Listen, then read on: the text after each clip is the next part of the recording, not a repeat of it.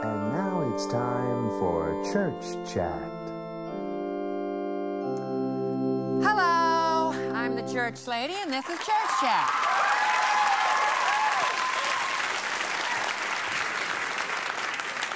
Well, uh, Mr. Dwight L. McPherson from Kansas writes and says, Dear church lady, last night I dreamed you were run over and killed by a busload of Islamic tourists. And I got to thinking, who will battle Satan if something happens to you? Well, to answer your letter, I'm going to bring out my first guest, and she's hardly a guest because she's family. Will you please welcome my niece and namesake, Enid?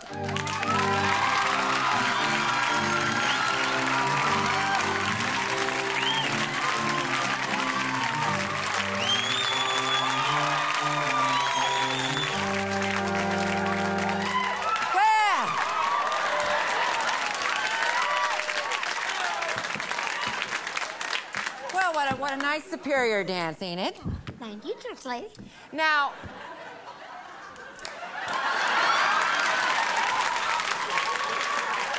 now, now, where have you been keeping yourself? I haven't seen you lately. I've been at Bible camp for every day for the past 12 years.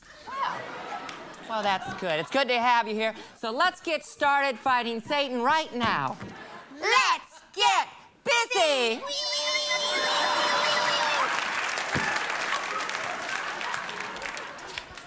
Oh, Enid, Enid, dear, these are trying times. Why tell me about it? Just when you think your Gary Harts and your Jessica Hahns and your Jimmy Swaggarts are a thing of the past, someone else gets their bulbous naughty part caught between Beelzebub and the Beastmaster. A Satan sandwich. That's right, dear. And with that in mind, all right, with that in mind, Enid, I'd like you to do the next introduction. Thank you. Will you please welcome our very special guest, the official tabloid slut of the 90s, Miss Marla Maples.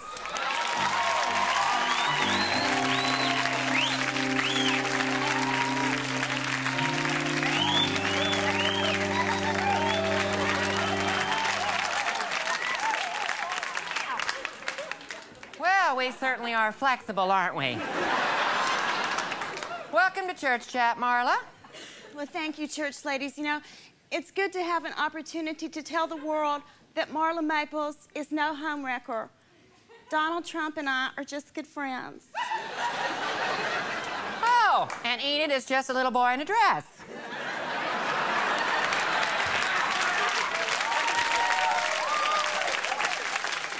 You know, Marla, it's sad how sick the press is. Enid's right, Marla.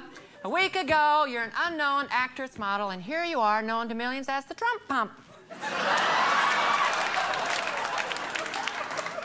that sad, dude? Just steams my clams. Just That's right. Just steam them away. Can't anyone spend a weekend in a hotel room frolicking in the nude with a married man without the press going crazy? No. Well, that's exactly why I've hired a lawyer. I mean, I'm going to protect myself from these unfounded attacks. Oh, we don't need to be a good girl. Of course, we, we don't have to lead a moral life as long as we can sue. No, we don't need to be a good girl. No, sir. We can wreck a marriage anytime we want. Climb a sack makes that beast with two backs. That's, fine. That's right. Who needs morality? We have a lawyer. How, How convenient. Well,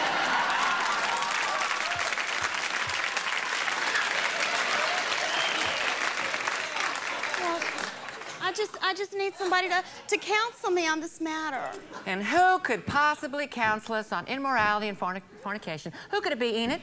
Oh, I just can't help you now, church lady. My little noggin's just blank. Who could it be? I just can't imagine who.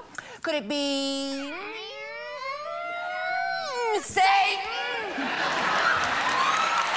Marla, Marla, come with me. We agreed you weren't going to do any interviews. Donald, they're being Sit, so Donnie. mean. They're Sit being down, so Donnie.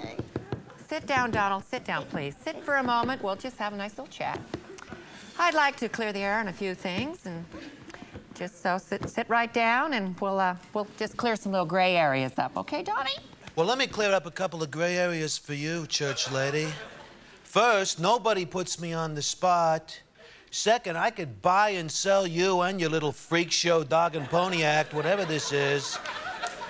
You keep your nose out of my business or you find yourself on the street. Wait a minute. I own the street. I don't know where you're going to find yourself, but I guarantee it won't be pleasant. Well, isn't that special?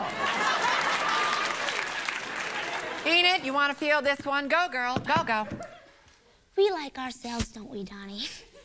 But inside, we must feel like a lost, vacant, empty soul wandering through a hell of our own making, worshiping the big G, the wrong G, greed. And the only thing we can really feel is our lust. And we know a lot about lust, don't we, Donnie? a little S-E-X. And how about a little S-I-N? And now we find our billion dollar buttocks caught in the pliers. Enid, Enid, easy, girl. Let's remember whose show this oh, I'm is. sorry, I just call them as I see them. All righty. Well, this is a waste of my time. Come on, Marla. Scoot sinners, scoot, scoot sinners. Well, I wonder what could have gotten them so upset. What could have caused them to fly off the handle like that? I don't know who. Could it, Could it be be live from New York? It's Saturday night.